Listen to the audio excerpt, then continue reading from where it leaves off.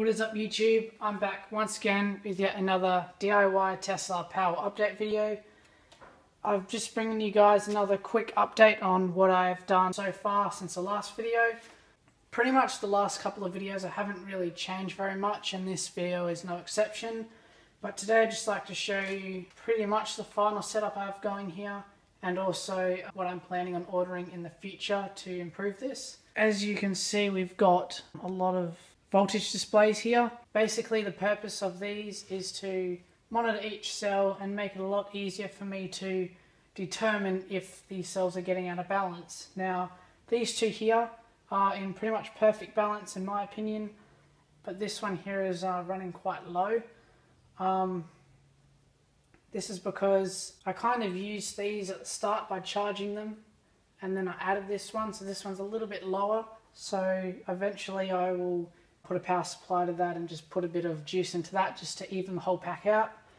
And then I've also um, double-sided tape my voltage and percentage meter, which you may have seen from the last video.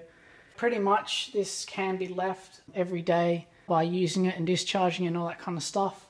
And it pretty much works without a hiccup or anything. So that was pretty much what I was planning on doing when I made this and now I've got some things on my computer that I am planning on ordering. Really what this is is a 3S 25 amp BMS and that's what it looks like.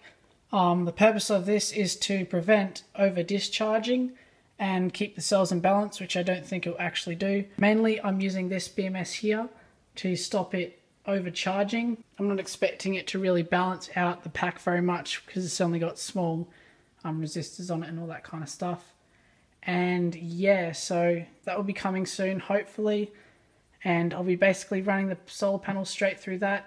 And then the inverter will bypass that. Over discharging, I'm not really uh, worried about too much because this inverter here actually cuts off at 3.55 volts per cell if it does stay in balance. That isn't really too much of an over discharge, so that should be fine. And I've also ordered things for my electric bike project, which I'll just quickly give you a sneak peek. Uh, there it is.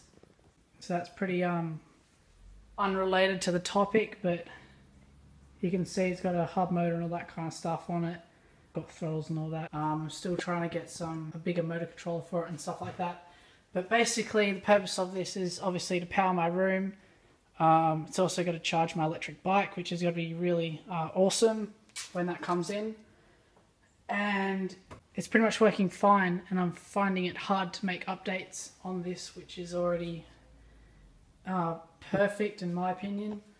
People will disagree on some of those things but this is all debatable and all that kind of stuff. I will be working on the remaining four packs and then obviously getting a new inverter so then I can um, really uh, take this project to the next level.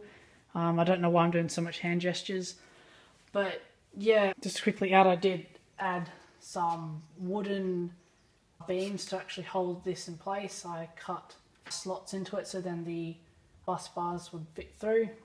Just thought I'd add that. But yeah, that is pretty much it for this update. If you did enjoy, please give this video a like and subscribe for future DIY Tesla Powerwall update videos.